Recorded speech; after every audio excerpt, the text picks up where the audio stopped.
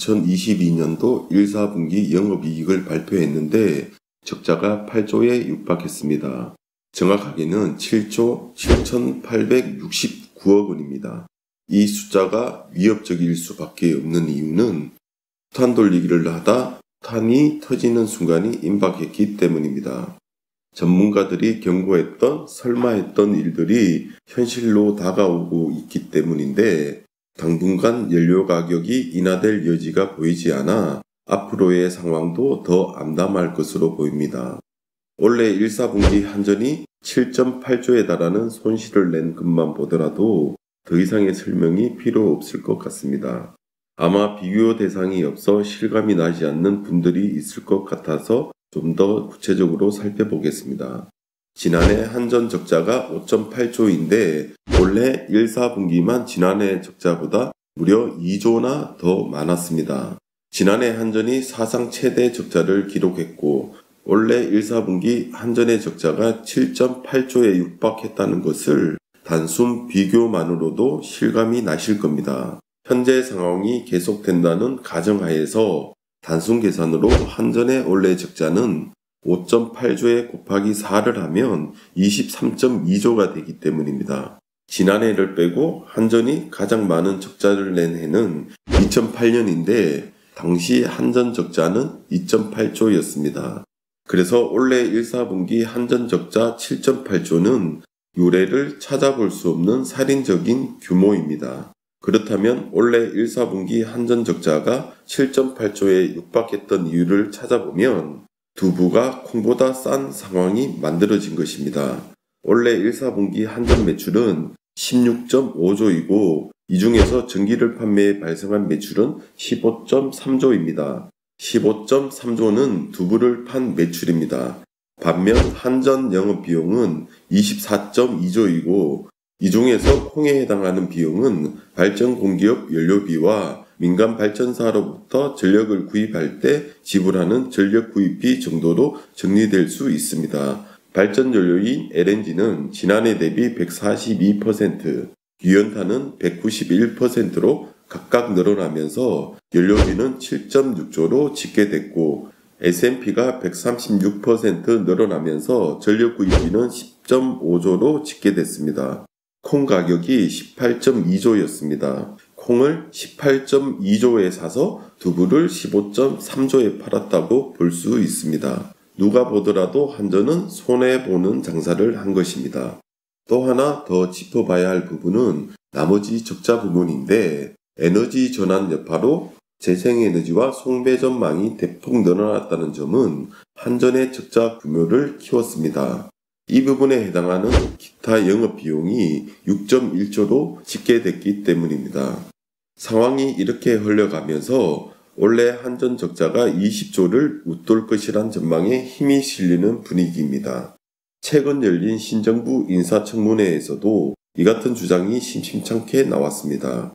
살인적인 적자 상황에서 한전이 할 수 있는 일은 딱히 없습니다. 한전이 낸 자료를 보면 부동산을 팔고 해외 자산을 정리하고 투자 시기를 조정하는 등을 제외하면 할 수 있는 일이 딱히 없습니다. 누가 봐도 야반 도주 직전의 모습이 아닐까 싶습니다.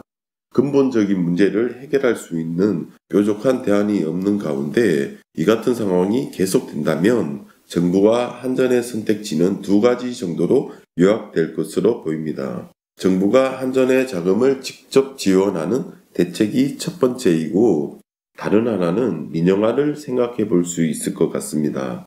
한전 자체를 민영화하는 것은 아니지만 전력 그룹사에서 보유한 발전소들이 매각 대상에 오를 가능성이 크고 또 전력 그룹사 소속 공기업 상장이나 발전 공기업 민영화 등을 손꼽을 수 있습니다. 정부의 지원이 없다면 한전은 선택의 여지가 없게 되는데 외환 위기 등 위기가 찾아왔을 때 민영화가 이루어졌다는 점은 시사하는 바가 크다고 할 수 있습니다. 더 이상 팔 게 없으면 자신의 살점이라도 떼어내 팔아야 한다는 논리가 민영화로 자연스럽게 이어졌기 때문입니다. 현재 정부와 한전은 딱히 할 수 있는 일이 없기 때문에 러시아가 전쟁을 중단하고 산유국이 원유 생산량을 확대해 수요보다 공급이 높아지기를 희망해야 하는 딱한 상황에 놓여 있습니다. 연료 시장이 진정되기를 기도하는 것 외에는 대안이 없다는 것입니다. 이 말은 정부가 이 같은 상황에 대비하지 않았음을 보여주는 단면입니다. 한전이 2015년 11.3조, 2016년 12.1조 등의 흑자를 낼 때 정부가 뭘 했는지 물어봐야 합니다. 한전 직원이 민간 기업처럼 특 별 성과급을 받았을 리 없고 MB 선진화 정책과 박근혜 정부의 공공기관 정상화 정책 등으로 이들에 대한 지가 제도적으로 묶여 있는 상황이기 때문에 직원에 대한 과도한 복지도 없었을 것입니다. 그럼 한전이 낸 그동안의 수익의 행방을 찾을 필요가 있습니다. 모르긴 몰라도 정권이 자신의 정책을 위해 쌈짓돈처럼 사용하지 않았을까 합리적인 의심을 해보게 됩니다. 국회와 감사원 등의 감시에도 불구하고 특별한 문제점이 없었다는 점은 정권이 제도적으로 이 수익을 이용했음을 보여주는 단면입니다.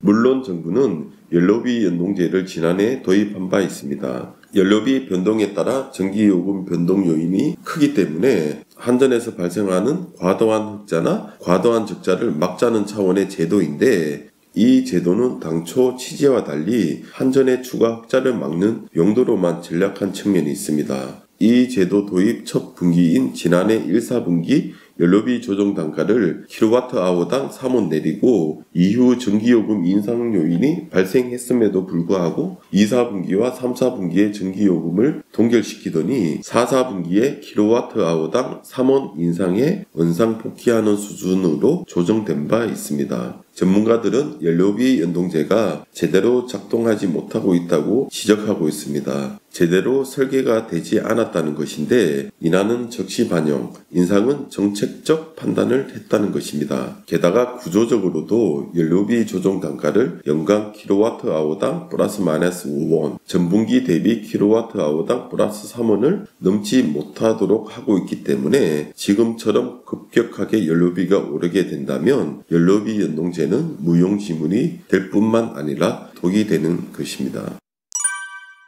우스갯소리로 한국 전쟁이 왜 발생했느냐고 물으면 방심했기 때문이라고 답을 합니다. 현재 한전 적자 사태에 대해 많은 전문가들이 오래전부터 끊임없이 신호를 주고 경고를 했음에도 불구하고 정권은 사리사욕으로 이를 무시했고 그 결과 지금의 암담한 사태가 발생한 것으로 보입니다.